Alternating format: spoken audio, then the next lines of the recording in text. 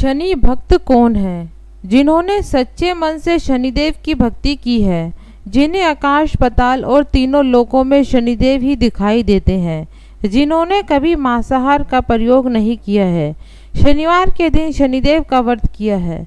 मंगलवार के दिन शनिदेव के मित्र हनुमान जी का ध्यान किया है। ब्रह्मा, विष्णु, महेश का पूजन किया है, जिन्होंने शनिदेव के गुरु कृष्ण जी का ध्यान किया है। पीपल के नीचे शिवलिंग की स्थापना की है। ओम शम शनिचराय नमः का जाप किया हो।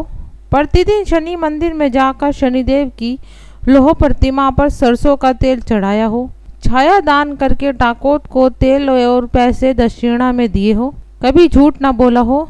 कभी भी शनिदेव के पीड़े जानवरों को सताया ना हो। चीटियों को अनुदान दिया हो। बड़े बुज़ुर्गों की सेवा की हो, नेत्रहीनों को रास्ता दिखाया हो, जो बाहर और भीतर से पवित्र, सत्यवादी, क्षमावान और राग और द्वेष से सुनमा विद्या के विचार में लीन रहते हो, जो शनि भक्त हैं। जो व्यक्ति प्रतिदिन शनिदेव की पूजा करता हो, गरीबों का सत्कार करता हो माता पिता और गुरुजनों का भक्त हो। शनि मंदिर में जाकर पीपल के पेड़ के नीचे शनिदेव की कथा करके सरसों के तेल का दीपक जलाकर शनिदेव की पूजा करता हो, शनिदेव का व्रत करता हो, वही सच्चा शनि भक्त है, जो व्यक्ति दया और धर्म का पालन करता हो, कभी पाप नहीं करता हो, जो शनिदेव मूर्ति पर नीले फूल और शमी के फूल से आचमन करता हो।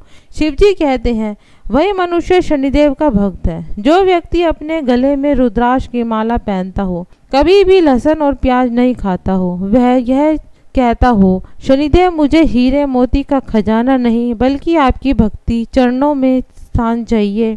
जो मुख से सदा शनिदेव का नाम का उच्चारण करता रहता हो तथा नृत्य भक्ति पूर्वक शनिदेव का गुणगान करता हो, वही जातक शनि भक्त कहलाता है। जो भक्त प्रतिदिन शनि चालीसा का पाठ करता है, वह शनि मंदिर में जाकर अनुष्ठान करते हो। उन्हीं को सच्चा शनि भक्त जानना चाहिए। जो मनुष्य संपूर्ण ज्ञान से शनिदेव के मंत्रों का उच्चारण करता हो, शनि मंदिर में जाकर गरीबों को वस्त्र, जूते, गर्मी में काला छाता दान करे, मन में यही बात रखे कि जो कुछ मेरे शनिदेव करेंगे, मेरे भले के लिए करेंगे।